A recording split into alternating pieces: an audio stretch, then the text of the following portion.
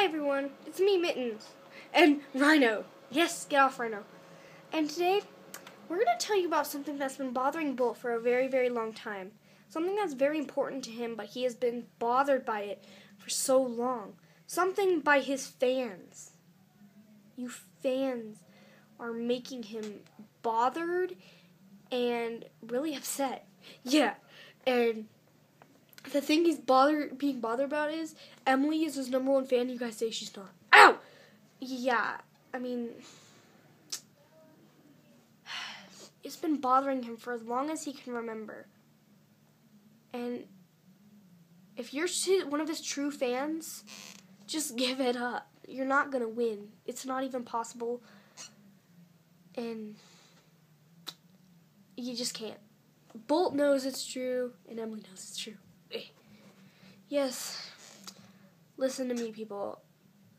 You fans make him upset.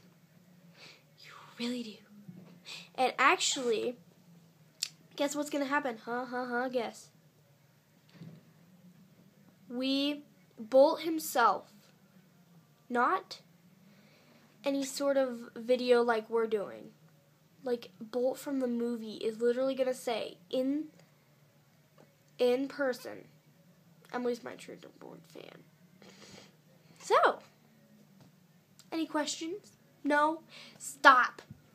Stop it. You are not his biggest fan. It's not possible.